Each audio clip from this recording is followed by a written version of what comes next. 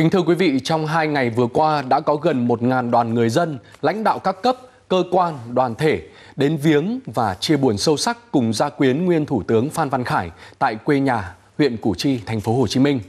Những đoàn người cứ nối dài sự thương tiếc và lòng kính ngưỡng đến một nhà lãnh đạo tài ba mà giản dị, gần gũi với nhân dân.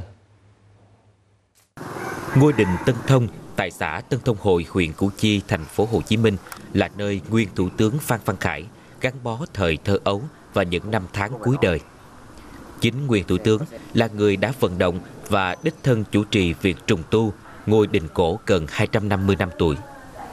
Vườn cây dầu do ông trồng nay đã cao lớn, che mát cho cả khuôn viên sân đình.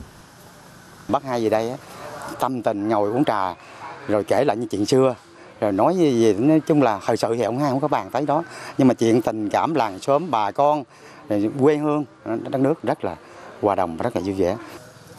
Ông Nguyễn Văn Khỏe, trưởng ban quản lý di tích lịch sử Đình Tân Thông là người bạn từ thuở nhỏ của nguyên thủ tướng Phan Văn Khải. Khi về hưu, những người bạn đồng niên mới có dịp tâm tình gắn bó nhiều hơn sau mấy chục năm xa cách.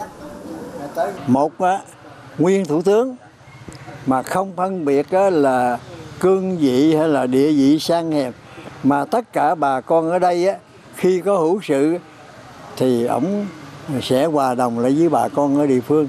Hãy ngủ quên là thôi. Mà hãy nằm mơ màng là nhớ đến ổng. Không bao giờ quên. Không bao giờ quên một cái tình cảm đặc biệt đó. Dù cho cái nắng gay gắt hàng ngàn đoàn người vẫn đến tiễn đưa ông Sáu Khải một người con ưu tú của đất thép Thạch Đồng ngày nào cũng tới đó đốt nhang rồi bữa nay hôm nay là ngày cuối cùng để đưa ông cho thành phố. Tự tay ra trời ơi ta dễ thương bởi vì giờ chết rất tiếc.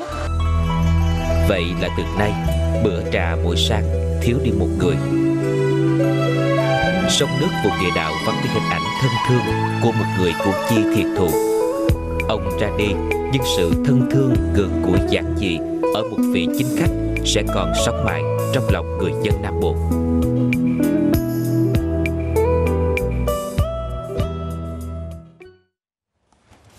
Vâng, đó là những tình cảm thân thương mà người dân địa phương cũng như là người dân cả nước dành đến nguyên Thủ tướng Phan Văn Khải. Vô cùng thương tiếc một người con đất Việt luôn hết lòng vì dân, vì nước.